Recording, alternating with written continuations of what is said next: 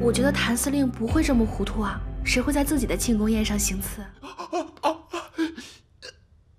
你说是谭司令派你来刺杀我的？没错，就是他。原本他有恩于我们，我们定到誓死效忠。可是我一个同伴刺杀失败，他为了掩盖自己的罪行，竟然枪毙了我们自己人，还想给我草草治一个死罪以绝后患。既然他不仁，就别怪我对他不义了。官啊，我就说这一定是谭玄灵干的，这是 老天让他完蛋呢。哼，自作孽不可活。少帅，就这些。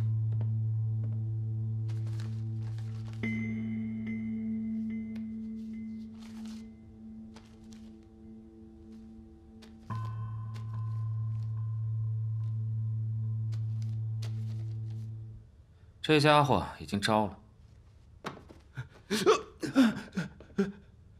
你把刚才的话再说一遍。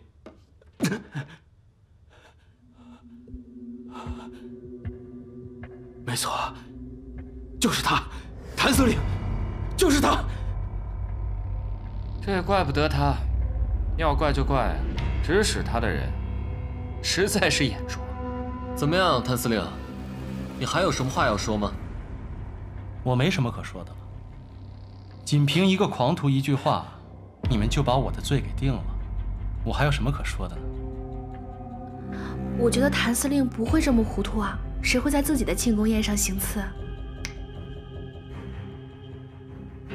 谭司令，这家伙如今命都在你手上攥着，他没有理由污蔑你吧？想必。是你要杀人灭口，这家伙狗急跳墙，才把你供出来。光耀哥，今天他的同伙刺杀你的时候，是谭司令扑上来救了你，我们都在场的。如果是他自知刺杀无望，临时起意救下光耀，妄图自证清白呢？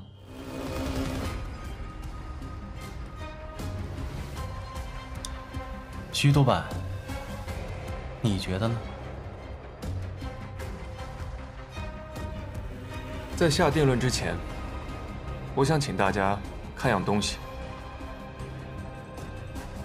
玉成，在，把钱给我。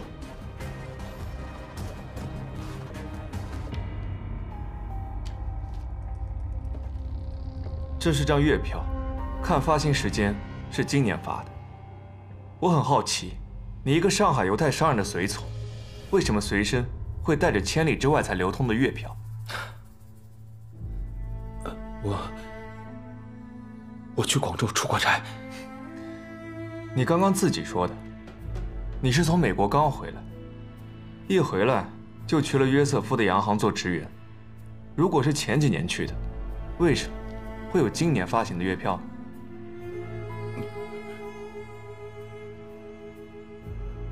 所以，你根本不是美国留学回来的，你骗了约瑟夫。你是南边派来的，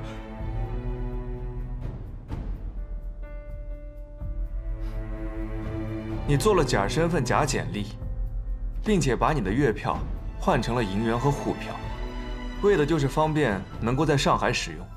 但是你还留了一点月票的原因，是因为等事情结束之后，坐火车回广州，到时候你会需要月票零钱，坐黄包车。银元找不开户票又用不到。我说的可对。